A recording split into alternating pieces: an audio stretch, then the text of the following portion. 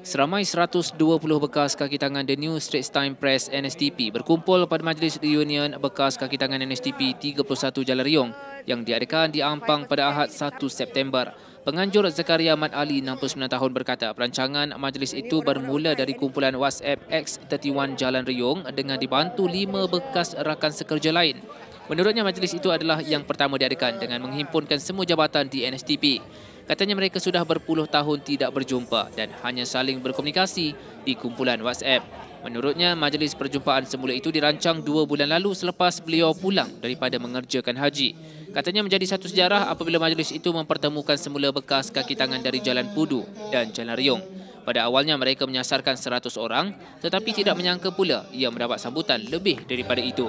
Zakaria yang pernah berkhidmat sebagai juruteknik dari 1981 hingga 1992, majlis itu bakal diteruskan untuk program yang lain pula.